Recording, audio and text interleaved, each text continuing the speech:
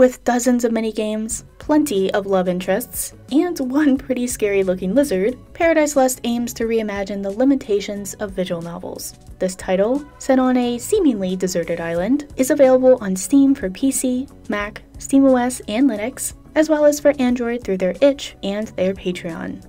You are hired as a bartender on your brother's cruise for the Miss World Media Pageant competition. An intense storm hits your boat, leaving you and the rest of the guests trapped on the island of Tuba Tuba. On this strange island, you try to find the rest of the ship's passengers while also trying to survive this new reality, which involves building new bridges, new houses, cleaning up the resort, and getting to know the lovely pageant contestants. As you learn more about each character, you will learn about their ambitions, dreams, and life goals. You can discuss the tragedy of the boat disaster, their family back home, or even fears about your budding romance. You get to know these individuals from the inside out, and I was amazed at how much effort was placed into connecting with them. There is also a mystery that evolves in the later half of the game that was really exciting to watch unfold.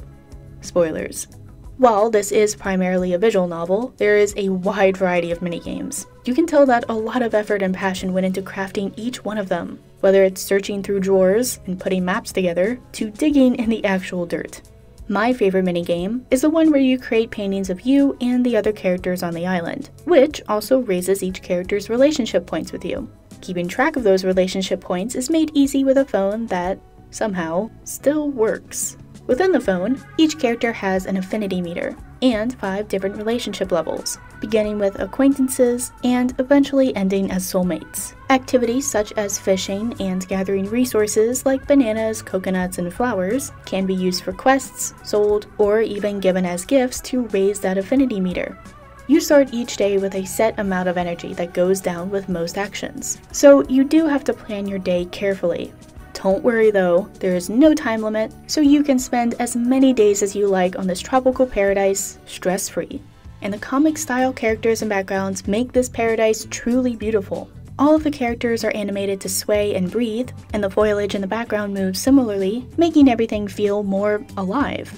Relaxing tropical music with the accompaniment of birds and ocean waves helps you vibe as you explore your new home. The sexual interactions are also animated, but a bit jerky and remind me of cutout animation.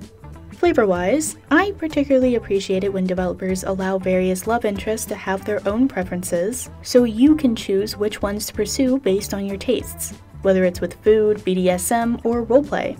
And while Paradise Lost does give you a diverse selection of waifus, you will have to romance most of them in order to progress the game.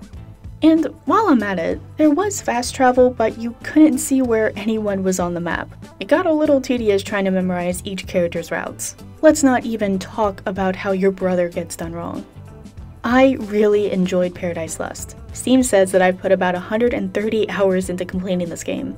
Through the mysteries, the dramas, and the lizard romance, Paradise Lost is a great entertaining adventure and I highly recommend it to anyone who enjoys visual novels. The sequel, Paradise Lost 2, is in development and I'm definitely going to cover it later on. Until then, absolutely check out this fully completed island romp.